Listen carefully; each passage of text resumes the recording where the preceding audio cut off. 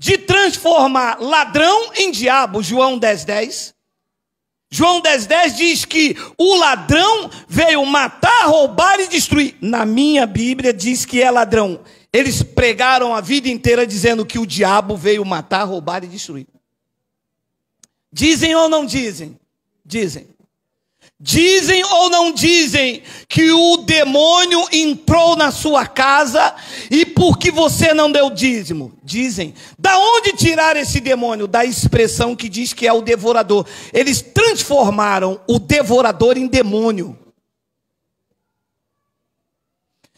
E eu fico impressionado porque eles vão lá para o YouTube e dizem assim: Geraldo prega heresia. Mas sou eu que prego heresia?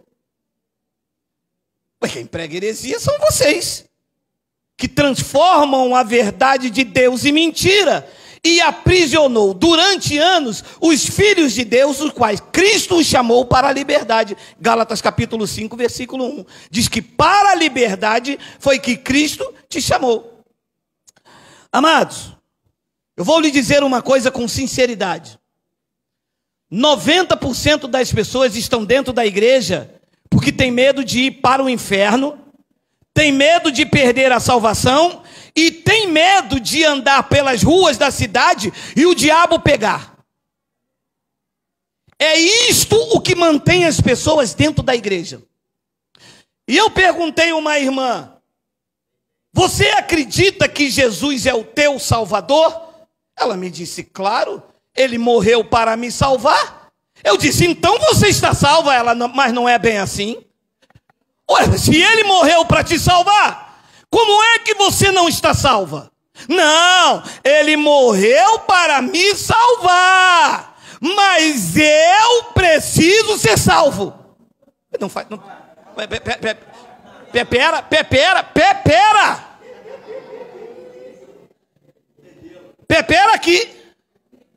Olha, se ele morreu para me salvar, eu estou salvo. Ela disse: Ah, tá, mas e se você, por um acaso, comer um pote de maionese? Se eu comer um pote de maionese e se ele não gostar, ele me disciplina, mas nada pode me separar do seu amor. Então a igreja que está aí, se, se é que pode chamar de igreja, Igreja é a esposa de Cristo, do qual ele é o cabeça, e a igreja está submetida a Cristo. Não é que Cristo está submetido à igreja. Porque de igreja não se pregam nem a palavra correta. Então, desse texto lido aqui, eles inventaram, eles pegaram esse texto aqui, mas brincaram com a igreja. Olha só, nada do Apocalipse é literal. Ah, e antes de entrar na profundeza das revelações, é preciso te explicar que o dragão que eu vou te mostrar aqui, quem é o dragão, é a mesma coisa da serpente, é a mesma coisa do diabo e é a mesma coisa do Satanás.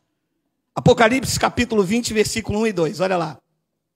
Então, vi descer do céu um anjo, tinha na mão a chave do abismo e uma grande corrente. Dois, ele segurou o dragão, que eu vou te mostrar lá quem é, a antiga serpente, que o dragão e a antiga serpente é quem?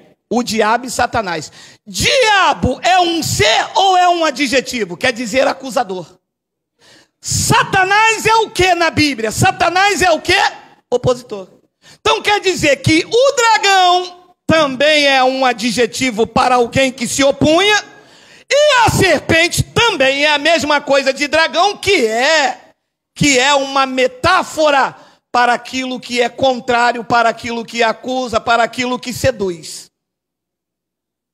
Isto é a interpretação fiel da Bíblia. Agora, olha o que é que diz lá o texto que nós lemos. Se nós pegarmos esta passagem como a tradição faz de pegar. Seu app de vídeos curtos.